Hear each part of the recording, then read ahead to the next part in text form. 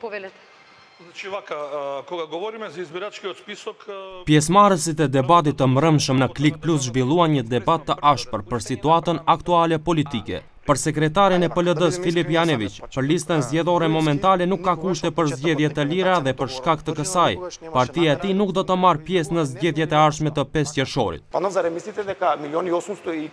Vallë mendoni se një milion e tetëqind mijë votues janë fotografi reale në Maqedoni? Nëse është kështu, nëse shkojmë në zgjedhje, atëherë Gruevski do të fitojë në proces të ardhshëm zgjedhor. Me kushte dhe kritere të këtilla, ne nuk do të marrim pjesë. Me çfarë gjyqësori të shkojmë në zgjedhje? Me ata që dënojnë njerëz për njëzet marule dhe hithra? Për analistin Pandov nuk ka asnjë votues të kontestueshëm dhe në zgjedhjet më pesë qershor do të marrin pjesë edhe parti të cilat nuk kanë qëndrime të përafërta me partinë në pushtet.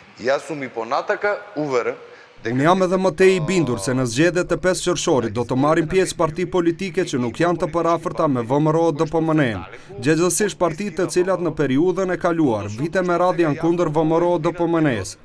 Nëse ata janë nga blloku politik maqedonas ose shqiptar, për këtë gati njëqind për qind jam i sigurt.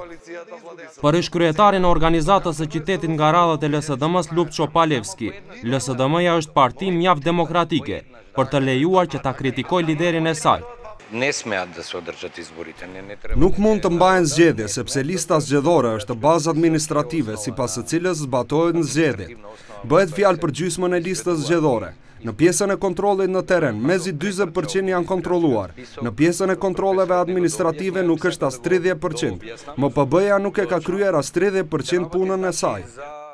Sipas liderit të Frodem Jove Kekenovskit, problemi më i madh është sepse deri tani, edhe pse ka progres, marrëveshja e Përzhinës nuk është zbatuar tërësisht. Pse nuk duhet të ketë zgjedhje, sepse marrëveshja e Përzhinës ka pak progres, nuk mund ta mohojmë këtë, por është shumë larg nga ajo që duhet.